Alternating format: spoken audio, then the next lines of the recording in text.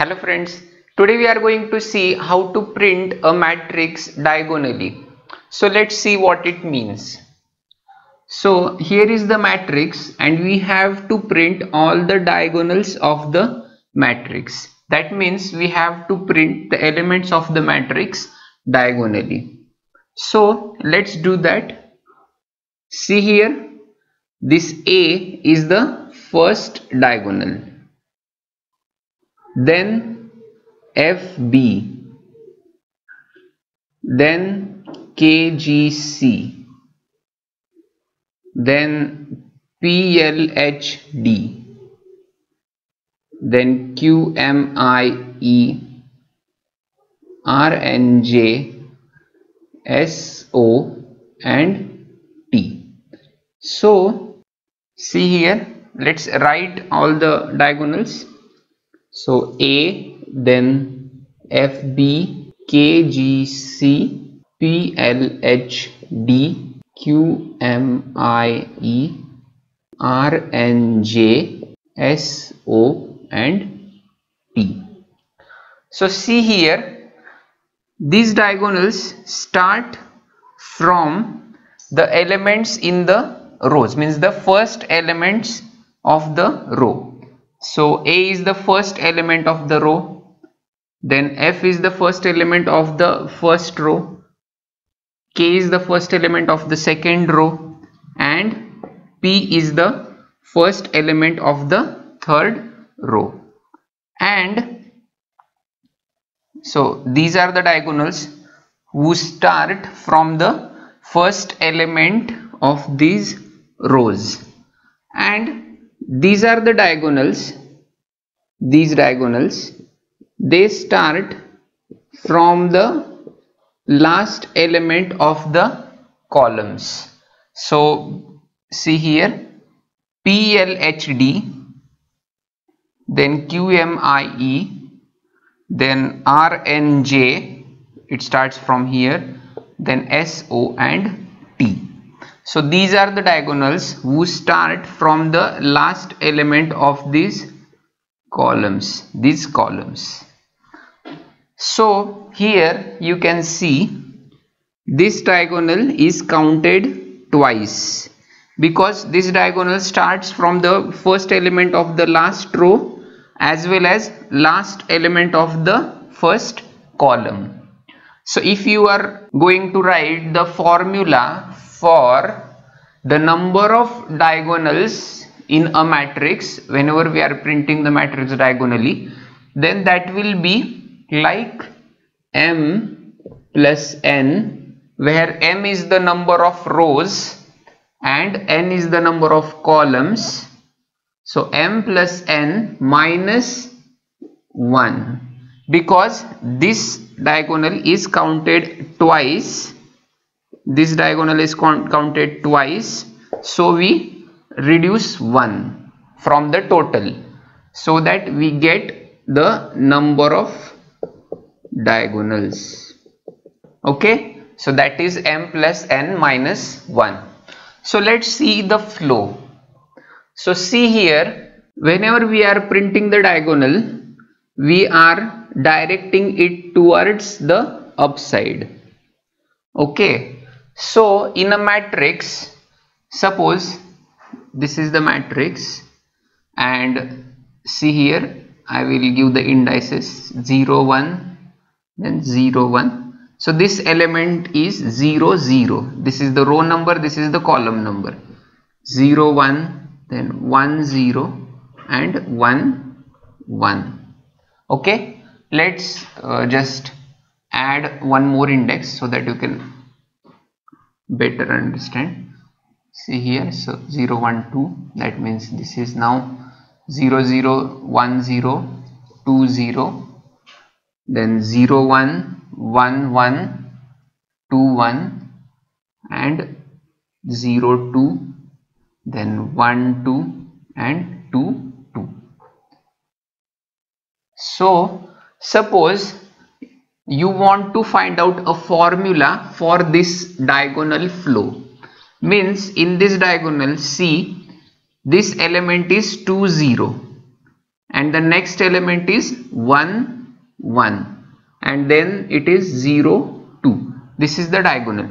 So if this is i and this is j okay then the next element is i minus 1 and j plus 1 again see here it is if this is i and this is j if we call this as i and this as j then depending on this element it is i minus 1 and j plus 1 that means if i is equal to i minus 1 and j is equal to j plus 1 then we are finding out the next element in that diagonal. So suppose suppose we are here like 2 0 then the next element in this diagonal will be 2 minus 1 that is 1 and 0 plus 1 that is 1 so 1 1 is the next element in this diagonal. Again the next element 1 minus 1 0 and 1 plus 1 2 so 0 2 this is the 0 2 element so in this way we can write the program for writing all the diagonals. Now as we can calculate the whole diagonal whenever we are getting the start of the diagonal only job is to loop through all the start elements of the diagonal and just go on decrementing i by minus 1 and incrementing j by plus 1 so that we get all the diagonals up to their end. Let's write the program for this. So see here k is the variable which will trace through every starting of the diagonal. See in this matrix the first element of each row is the starting of each diagonal. Okay and the last element of each column is the starting of each diagonal the remaining diagonals. So k is equal to 0 0 to m minus 1 that means if the matrix is m cross n so suppose here see m is 1 2 3 and 4 4 cross and n is 1 2 3 4 5 so it is 4 rows and 5 columns. Okay? So it is a 4 cross 5 matrix. See 0 1 2 and 3 are the indices. So you have to go from 0 to 3 that is 4 minus 1 so it is written here m minus 1 and then inside first i is equal to k. So let's see. We are going to trace each element by i and j. I will point to the row and j will point to the column. So see as this is the first row I will point to k. Means k is 0 that is the first row. And j will point to 0 because it is also the first column every diagonal starts from the first column and kth row. Means if it is the first diagonal then it will start from the first row. Then second second row. Zeroth diagonal then it will start from the zeroth row's first element. So i equal to k and j equal to 0 now each diagonal ends at the first row. So see here if you take this diagonal this diagonal ends at the first row. If you take this diagonal which starts from k it ends in the first row. So every diagonal ends in the first row here these diagonals. Okay? And after these diagonals the remaining four diagonals we will see in the next for loop. Okay?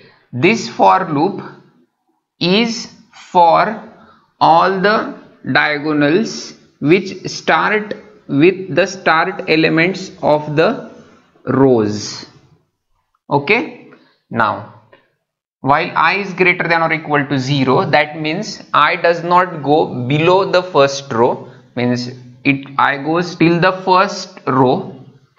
Now see print m of ij so we have to print that element and then i is equal to i minus 1 and j equal to j plus 1 you know this because uh, if you want to go to the next element of the diagonal you have to do i equal to i minus 1 and j equal to j plus 1 so in this way we print the first four diagonals which start with the first element of the rows. Now the next diagonals see we printed four diagonals means we printed m diagonals because it is equal to the number of rows. Now we are going to print n diagonals. Okay. So as this diagonal is repeated we subtract 1 so now we are going to print n minus 1 we are not going to print again the repeated diagonal. Okay. Now and that is the reason why k starts from 0 here and k starts from 1 here okay? Because we are not repeating this diagonal. We are directly starting from here okay? The diagonals which start from the last element of these columns. So k equal to 1 k is less than or equal to n minus 1 see every diagonal ends in the last column these diagonals. See q m i e so that ended in last column. Then r and j last column. S o that is the last column. And t. So this ends in last column. So every diagonal ends in last column. So k is less than or equal to n minus 1 n is the number of columns. So and k plus plus. Now i equal to m minus 1 see every diagonal starts in the last row so i is equal to m minus 1 as i represents the row. And j is equal to k. As you know k will trace the starting of each diagonal. So for each diagonal k will change and it will give its value to j. So while j is less than or equal to n minus 1 as you know every diagonal ends in the last column. Print m of ij and i equal to i minus 1 j equal to j plus 1 to get the next element in each diagonal. Okay? So in this way we printed the remaining diagonals these diagonals from this matrix. So this is the way how we print all the diagonals in the matrix that is called as printing the matrix diagonally. So let's see in our next video how to print the matrix diagonally and spirally in zigzag way. Hey friends please subscribe to my channel as i post algorithm videos every day. And if you want a video on any particular topic then please mention in the comment below. Thank you